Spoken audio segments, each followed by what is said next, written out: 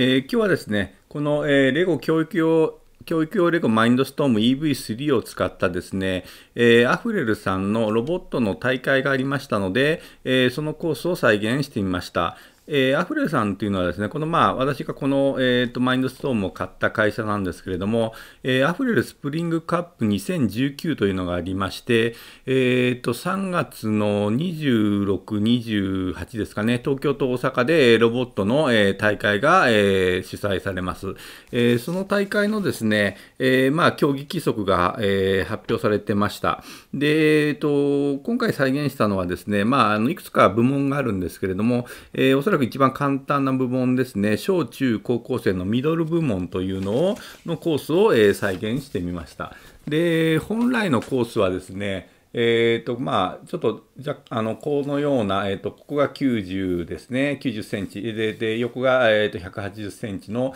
えー、コースなんですけれども、まあ、スペースの都合上、この、えーと、スペース取れなかったので、えー、この前半の、えー、ここがスタートですね、右がゴールエリアなんですなんですけれども、えー、この前半の左半分ですね、スタートからこの2本の、えー、棒のとこ、えー、黒い棒のところまで、ラインのところまでを、え再現しております。で、いくつかですね、えーと、本番と,、えーと、当然違うところあるんですけど、まあ、例えばも下が模造紙であったりですとか、あとその黒ラインとかですね、黒ラインとかはまあ、多分本番は印刷なんでしょうけれども、えっ、ー、とまあ、あの予算の関係とかもありまして、この100円ショップのですね、えビニールテープ、えー、とかで再現してます。まあ、赤とか黄色もですね、えー、中川ケミカルのカッティングシートなんですけれども、まあ、この赤の、え100円ショップのビニールテープとかで、え再現してる部分がちょっと違いますね。まあ、外枠、本当は茶色なんですけど、まあ、茶色がなかったんで緑のテープで代用したりとか、まあ、その辺にちょっといろいろ違う部分はあります。えー、次ですね。ですね。で、次にですね、えっ、ー、と、コースの説明をしたいと思います。競技の、えー、内容ですね。えー、競技の内容的にはまず最初にこの、えーと、4枚の、えーと、シートを、えー、あラベルですね、テープを読み取ります。えー、まあ、今、あの赤、黄、黄、赤の順番で並んでますけど、これは本番はどの順番になるかが分かりません。まあ、赤2枚、黄色2枚というのは決まってるんですけど、まあ、黄色、黄色、赤、赤の可能性もあるということです。今、まあ、赤、黄、黄、赤でやってます。えー、そしてですね、ここが1、2、3、4番、順番に読んでいくんですけれども、えー、これ、赤と黄色によって動きを変えるというようなプログラミングが必要になります。えー、コース上ですね、えー、手前のこのこれが1、2、3、4に対してですね、えー、このコースの、えーと、1、2、え3、4に対応してまして、え赤の場合は、え手前から奥ですね。で、黄色の場合は奥から手前に、え持ってくるということになります。えですので、今、えー、赤、黄、黄、赤ですので、手前から奥、奥から手前、奥から手前、手前から奥ということを繰り返すということですね。えー、ここから順番に、えー、読んでいきまして、え読んだ後ですね、え右折して、えこの最初の、え黒いラインのとこまで行くと。で、え最初が、えーと、赤ですので、え手前から奥ですね。こちらに曲がってですね、この手前の、えーこれですね。こいつを持ち上げて、えー、奥ですね。奥のあの白い枠の中に入れてくると。で次が、えっと、こちらのああの奥ですね、えー、奥のやつを、えー、今度こちらの手前の、えー、青い枠の中に入れると。いうことを、えー、繰り返すという、えー、競技になります。えー、ではですね。次にですね。えー、ではですね、えー、次に、えー、このレゴの、えこの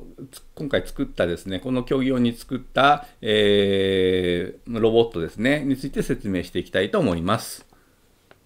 えー、こちらがですね、今回自分が作った、えーと、ロボットになります、えー。トレーニングロボットをベースにしてます。まあ、いろいろ、えーと、他に改良の余地あると思うんですけれども、まあえー、実際にちょっと競技に出るわけではないので、えーと、簡易的にトレーニングロボットをベースに、えー、作っております。えー、そしてですね、えーと、持ち上げる、えーと、このブロックを持ち上げるところなんですけれども、えー、M モーターですね、えーと、こちらの M モーターでですね、このワーム、ワームですね、ワームギアですかね、を、えー、ぐるぐる回してですね、えー、そして、えー、こちらのギアですかね、を回して、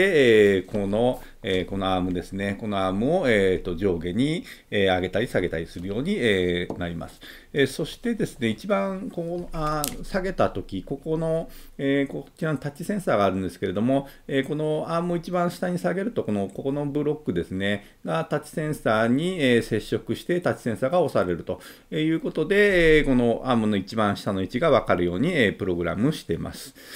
えー、っと、他にはですね、こちら、えカラーセンサーですね。カラーセンサー2つ付けておりまして、えこちらのカラーセンサーで黒ラインのトレースであったりだとか、えー、と、この、えラベルですね、色の判別とかを、え行うように、えしています。えではですね、実際のプログラムの方を見てみたいと思います。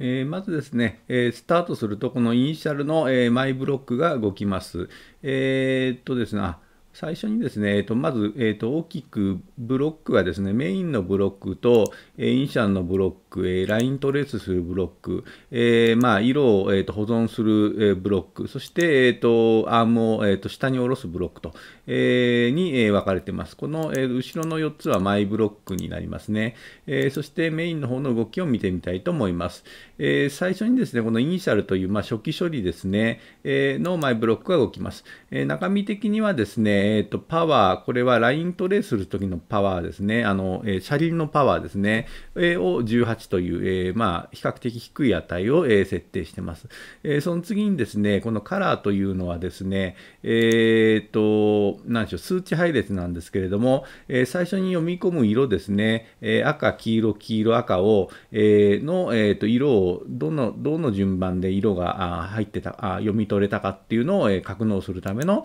え変数になります。えそしてですね、えこの1番と4番のその両側の、えー、とカラーセンサーですねを測定反射光の強さにして、えーと反射光の強さを測定するモードにするということをやっております。これが初期処理ですね。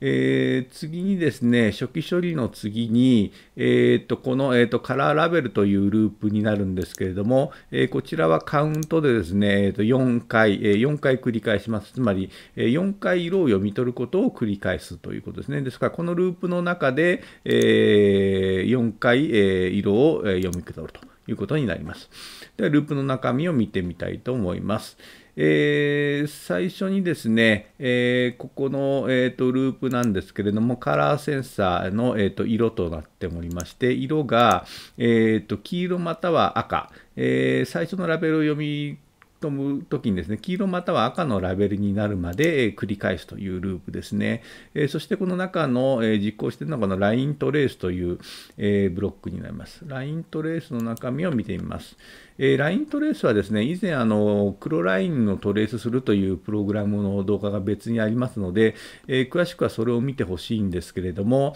えー、まあえー、カラーセンサーの、えーと、測定の反射光の強さですね、えーと、左右の、えーと、反射光の強さを読み取って、えー、その読み取って、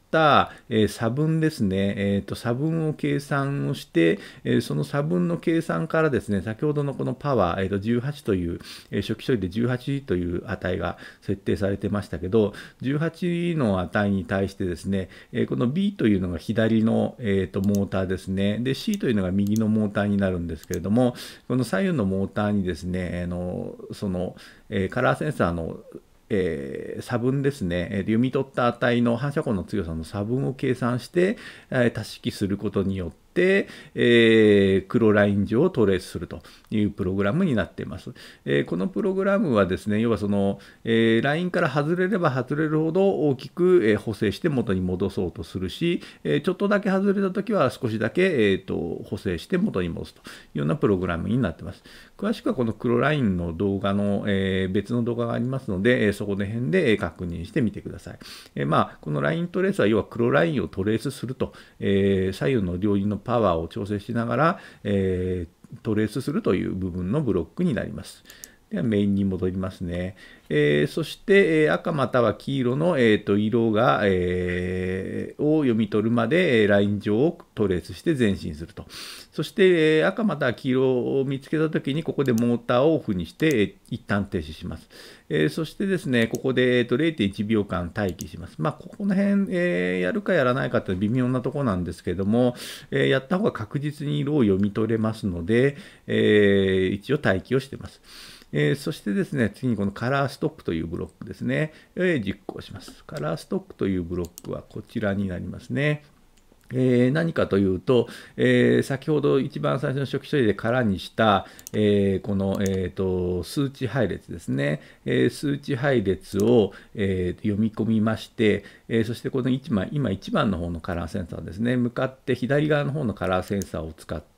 え測定で、えーと、色を測定してます。で測定した色をですね、えこの、えーと、配列操作ブロックですね、の追加の数値というのを機能を使ってですね、えー、とこのカラーブロックに、えー、上から順番に、えー、足してってるんですね。えー、この読み取ったた値を、えー、この配列、あ、ごめんなさい、えー、とこのカラー、えー、変数名カラーの数値配列をこの、え、配列入力ですね、え、そして読み取った色をこの値にセットをして、でこちらで配列出力をして、配列出力をこの、え、カラーのここの書き込みの、え数値配列と。いうことをすることによって、このカラーの中にですね、えー、と数値、えまあ、色をを数値化したものが次々にまあストックされると、えー、赤が、えー、と5で黄色が4ですので、まあえー、正しく動けば、えー、5445という、えー、値が配列として格納されるはずです、えー。そしてこれはですね、まあ、あってもなくてもいいんですけど、えー、ちょっと分かりやすいようにビープ音を鳴らしています。えー、こちらの読み取った色がですね、5赤の時は、えー、1750、1760Hz ですかね。で、えー、と黄色の時は 440Hz の、まあ、音を P と。まあ、これはあの競技のでは不要ですけど、まあえー、明示的にちゃんと色が読み取れたかを確認するために、えー、入れている、えー、ブロックになります。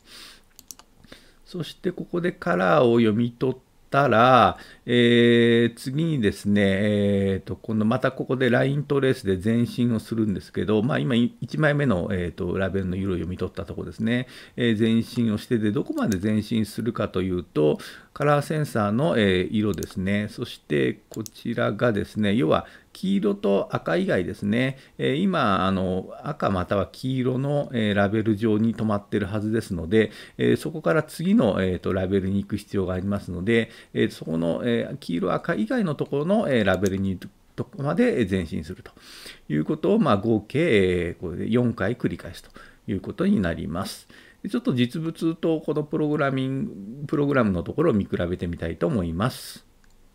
先ほどのプログラムの動きが、えー、こちらの、えー、このようになります。えー、最初にですね、えライントレースをして、え赤または黄色の、えラベルのところまで、え進みます、えラベル、赤または黄色のラベルを読み取って、え感知したら一旦停止をして、え、その現時点でのラベルの、えーと、色を読み取って、え、カラーの数値配列にスタックします。えー、そしてですね、えー、次の、えー、また動き始めてですね、赤または黄色、今赤のライン、ラベル上にいますので、赤または黄色以外の色を、え読み取るまで、え前進するという前進して、えー、そしてこの状態ですね。そしてライントレースを続けて、また再び赤また黄色のラベルが、えー、を感知するまで前進するので、今度ここで止まるというようなプログラムですね。まあ、これを合計4回繰り返すことによって、えー、4つ、え読み取ることができます。えただまあ、ちょっと何回か実際動かしてみて、若干たまにですね、誤作動する時がありまして、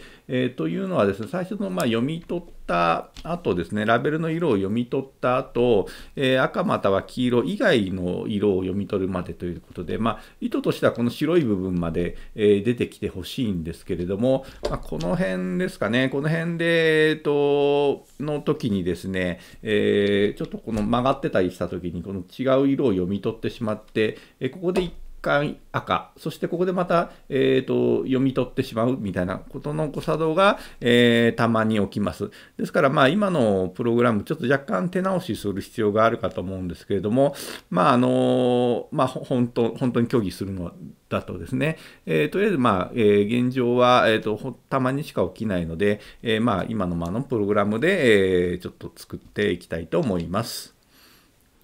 えー、読み取った後ですね、えー、4回ラベルを読み取った後の、えー、説明に行きます。読み取った後ですね、一旦この、えーとえー、ステアリングブロックでですね、えーと、一旦停止をします。えー、一旦停止をした後、えー、こちらでですね、えーと、右に90度ですね、右に90度、えー、回転します。これはまあ角度指定で、えーとまあえー、大体180度タイヤを回転させると、えー、右に直角に向きますので、えー、右に向きます。えー、ここではパあ100ですね。スタリングは100、パワーは40ですね。えー、その次にですね、えー、この大きなループなんですけど、この大きなループはですね、えっ、と、今は合計ですね、2回ですね、え2回、えー、ここでカウントで2がセットしてます。ので、えー、2回カウン、えー、2回繰り返すんですけど、まあ、これ本ちゃんは、えー、と4ですね。えー、4回、えー、とブロックを運びますので、えー、4になるかと思います。まあ、あの、今、こちらで再現したコースでは、えー、2本しか、えー、作ってませんので、2にしてあります。えー、でそこでですねこの2回繰り返すところで何をしているかというと要は、えーと、ブロックをですね、えーと、反対側のブロックに、え、持っていくという処理をしています、えー、実際の具体的なプログラムを見てみたいと思います。え、っと、まあ、右を向いてですね、今度その右を向いた後、えー、最初に、えー、っと黒いラインですね、1本目の黒いラインのところまで、え、前進しなければいけませんので、えまあ、ここで、えーと、パワーをオンにしてます。で、これは直スタイリングは0で直進ですね。で、パワーは15で直進をして、えー、ここで、えーと、カラーセンサー、1番のカラーセンサーですね。で、カラーセンサー反射光の強さで、えー、これは小なりですね。えー、そして数値は、えーと、敷地は20と、えー、黒い部分はですね、えーと、反射光の強さが、えー、弱いの弱くなってますので、えー、白だとだいたい80、今ちょっと白いところに置いてみましょうかね。えー、白ですと、あ、だいたい反射光の強さ、今、右下に出てますけど、えっ、ー、と、1番の100ですね。100なんですけれども、え黒いライン上に、え置くとですね、えっと、え、13ぐらいになりますね。え、13ぐらいになりますので、まあ、20以下とだと,、えーと、十分その黒ライン上にいるということなので、えー、黒ライン上まで前進をしますと。えー、前進したと、その後ですね、えー、と今度ですね、あのまあ、右に行くか左に行くかなんですけど、ここで先ほど、えー、と保存しておいた変数ですね、えー、とカラーカラー変数ですね、を、え、によって変わります。つまり、え、最初に読み込んだ、え、カラーが赤だったら、え右から、え右に、一旦右に行って、え左に持っていかなきゃいけないので、まあ、右折したいわけですね。で逆に黄色だったら左折したいということで、えここで、えまあ、先ほどのカラーの、え配列を読み取ります。えここで配列ブロックで、えインデックスで読み込むと、数値というのを使います。でここでのインデックスというのは、ここでインデックスを指定するんですけれども、このこのインデックスですね、えー、このインデックスは、このループブロックですね、ループブロックの、えーと、ループ、えー、インデックス、え、ループインデックスを、え、その、え、あの持ってきてます。え、この、これですね、ここの、この線をたどっていくと、このループインデックスですね。だから1回目のループは1個目の、え配列を持ってくるということですね。で、その配列の結果を値として出力して、えこの数値ブロックで、えー、と分岐をします。え5または4と。上が5ですね。で、えー、と下が4になりますので、上が赤の時ですね。で、下が、えー、と黄色の時になります。で赤の時は、えー、と右折をしたいので、角度指定で、ここはステアリングは50ですね。で、パワーは30と。えー、そして角度は350度と。これはまあ何回か試行錯誤をして、大体これぐらいの角度がいいのかなというふうになってます。で、えっ、ー、と、えー、右折、え、ここでまあ右折、または黄色だったら左折をするということですね。え、そして、えー、と、ここ上で、えー、と、ライントレースを、えー、今度始めます。ここでライントレースブロックですね。ライントレースで、どこまでライントレースをするかというと、え、このカラーセンサーの、え、色ですね。色で、え、まあ、5番赤。に、え並べるまで行くまで、えーと、ライントレースをするというプログラムになります。一旦ちょっとここで、え実際の動きと比較、えプログラムと実際の動きを比較してみたいと思います。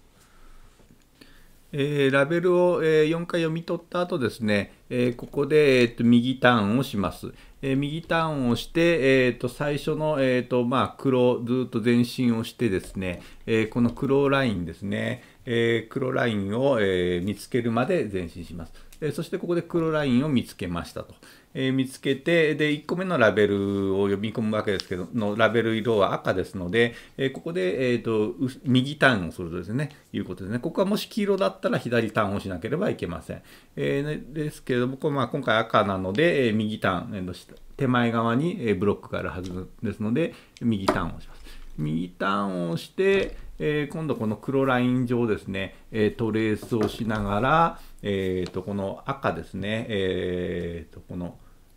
ここの赤ですね、ここの赤のところまで、え、前進をすると、え、そして赤を見つけたときに止まるということになります。ちょうどこの止まったときにですね、まあ、このアームの、え、位置的にですね、持ち上げるに適した位置になってますので、ここでアームで止まるというところまでが先ほどのプログラムになります。では、プログラムの続きを見てみたいと思います。えー、赤ラベルまで前進した続きですね。えー、その次の動き的にはですね、まあ、ブロックを持ち上げるんですけど、まあ、ここで一旦ステアリングブロックでオフにして、えー、と動作を止めてます、えー、そしてですね、ここで EV モーターですね、角度指定で、えーと、これは角度してですね、パワーは50ですね、えー、そして、えーと、1400度、えー、大体これはまあ何回か試行錯誤して、てまして、1400度、プラスの場合はアームを持ち上げますので、えー、1400度回すと、えー、アームを持ち上げて、ブロックを持ち上げます。でブロックを持ち上げたところで、えーと300えー、180度ですね、180度ターンする必要がありますので、えー、角度指定で、えー、これはステアリングは100ですね、えー、パワーは40で、まあ、タイの回転角度的には360ですね、えー、左右を360度ずつ回すと、えー、ちょうど1回転しますので、えー、ここで、えーと、ターンをするということになります。で、ブロックを持ち上げたままターンをしてですね、えー、次にですね、またライントレースですね。ライントレースで反対側の、えー、ここがカラーセンサーで色で、えー、反対側の赤のラベルのところまでですね、反対側の赤のラベルのところまでライントレースで前進をするということになります。えそして赤のところを見つけたら、えステアリングブロックでオフでまた一旦停止します。えそしてですね、停止した後、ここで、えーと、少しだけで前進してます。あの停止した直後ところでですね、えー、下ろすと若干やっぱりその手前に、え、ブロックを落としてしまって、たまにその枠の中に入らないことがあったので、え、ここで、まあ、角度指定でタイヤ65度分ですね、ねちょっと微前進ということで、ちょっとだけ前進をしていますと。え前進をした後ですね、えー、前進をした後、えー、今度はリフトダウンですね。リフトダウン。えー、ここの、えリフトダウンの、えマイブロックになります。リフトダウンは何してるかというと、まあ、要はアームを下ろしてるんですけれども、えどこまでアームを下ろしてるかというと、まあ、ここで M モーターでオンで、えパワーをマイナス20ですが、ゆっくり、まあ、アームを下に下ろしてます。え下ろして、えここのループですと、タッチセンサーの、えーと、状態ですね。で、状態としてはこの1。ええー、まあ、タッチセンサーが押されるまで、アームをガーッと一番下まで下ろすと。で下まで下ろしたら M モーターを停止するということで、えー、ここであのブロックが下に下ろされますと。えー、そしてですね、えーと、ここでリフトダウンでアームが下ろされましたと。下ろされたらですね、えー、旦そのまま、えーと、バックをします。えー、バックをしますので、えーと、これ角度指定で、ステアリングは0で直進ですね。でパワーマイナス40ですので、えー、バックですね。え、そして、え、度数的には、えーと、500と。いうことで、えー、大体まあ、え、中央ぐらいまでですね、え、中央ぐらいまで戻っています。え、その後戻った後、一旦、えーと、また一旦停止をして、え、今度はですね、えー、と最後の部分ですね、えー、曲がるんですけれども、えー、同じくですね、このその先ほど読んだ色が赤か黄色かによって、えー、と曲がる角度が違います。えー、例えばですね、赤を読んだ場合は、えー、と手前から奥に、えー、とブロックを運んでます。そしてバックをした後ですので、えー、と右に曲がらなきゃいけないんですね。で、黄色の場合は逆に左に曲がる必要があります。ですので、もう一度ここでカラーの、えー、と変数ですね、えー、と数値配列を読み込んで、で、インデックスで読み込んだ後、えー、赤の時、えー、とこのスイッチブロックでですね、の、えー、と数値で、えー、分岐をしまして、えー、赤、上の時は、えー、とバックで、なんか右折ですね、えー、右折をしてます。えー、180度。えー、そして、えー、黄色の時は左折をするということを、えー、してます。でそのそのまたこのループを繰り返すということですね。えー、じゃあちょっと最後の、えー、動きのところを見てみたいと思います。えー、こちらでですね、このアームを動かして、えーと、このブロックを、えー、持ち上げます。えー、今持ち上げてるという前提で、えー、そしてですね、180度、えー、ターンをして、え、ライントレースをしながらですね、えーと、反対側の、え、方に、え、向かっていきます。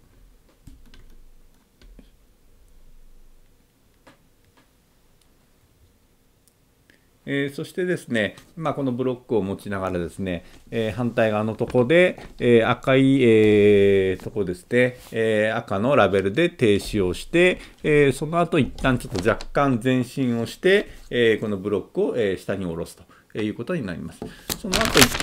その後ですね、えー、こちらに、まあ、また下がってきてですね、えー、そして、えーとまあ、赤ですので、えー、右ターンをすると。え黄色の場合は逆に、えーと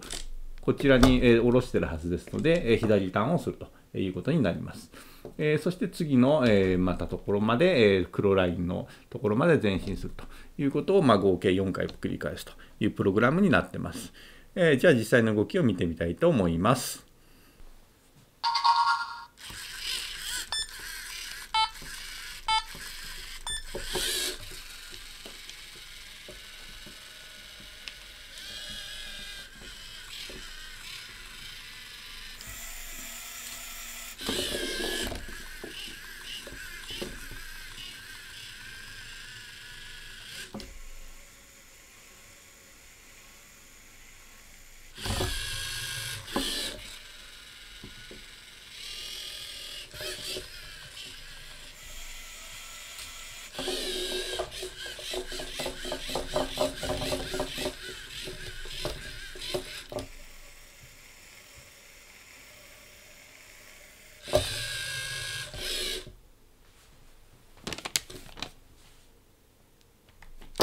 はい。えー、大体ほぼちょっと、えー、思い通りに動いたかと思います。えー、実際はですね、実際の競技は、えーと、この、えー、枠にですね、え、枠に正しく入ったら、えー、20点ですかね。で、一部入ると10点とかいうふうに点数方式になっております。えー、またですね、えー、同点の場合、えーと、全部うまく入ると、え全部で 20×4 ですので、80点ですかね。え同点の場合はそのタイムですので、えまあ、今かなり遅いスピードで、えーと、とトレースしてますので、え多分このスピードだと多分ダメだと思います。え他にですね、あと誤作動するところが実は何箇所かあってですね、まあ今たまたまうまくいったんですけれども、えーえー、と、この最初のラベルの読み込みのところとかですね、えー、何箇所かあの誤作動する部分もあります。ですので、もうちょっとそのこのままのプログラムでは、えー、ダメだと思います。まあ、えー、一旦そのベース的な動きはこれでできたということで、えー、ちょっともうちょっと改良が必要なのかなというふうに思っています。では今日のところはこれで終わりにしたいと思います。ありがとうございました。